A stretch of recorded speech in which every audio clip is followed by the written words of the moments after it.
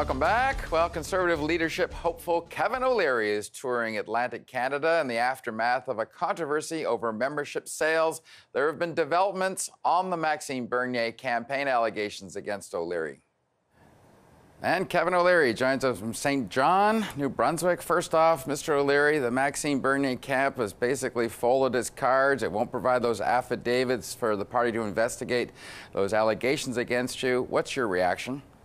You know, it's really not about one campaign or another. It's clear to all Canadians and certainly all candidates and every member of the Conservative Party that at the end of the day, and I've asked for this in the beginning, I've talked to the leadership multiple times now, I want every single member vetted and audited.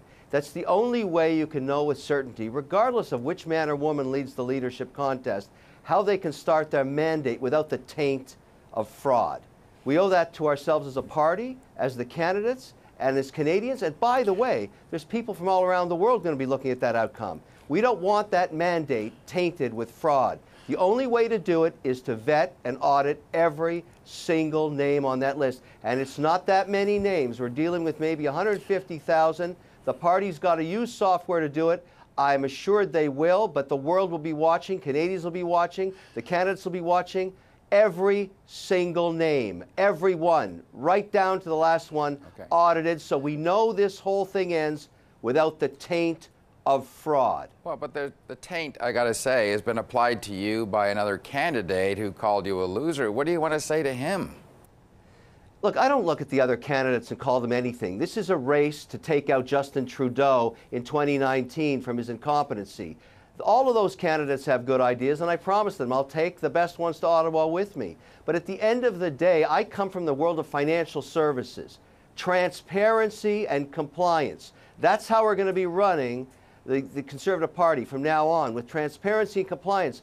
I don't look. I'm not. I haven't been a politician. I've never seen this idea of of prepaid credit cards and all this crap. We got to get rid of this stuff. We're not doing this anymore. Whoever is doing it, I don't know. I'm not making any accusations. And the way we're going to clean it up as a party is ask the party when they get the list on the evening of 5 o'clock on March 28th, vet, audit every name.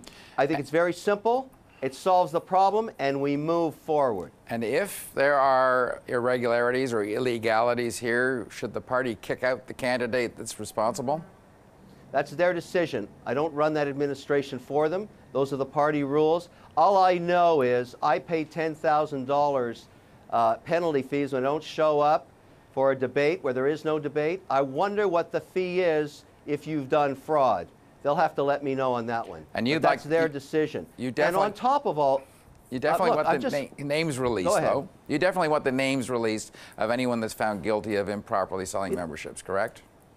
That's the that's the party's decision. They'll do what they're going to. But what I want to make sure, I only have one request, and I believe it is consistent with all candidates. Do not mail a ballot to a fraudulent name. That doesn't help anybody. The party, the candidates, the members, Canada, it is a big mistake to allow even one instance of fraud into this process.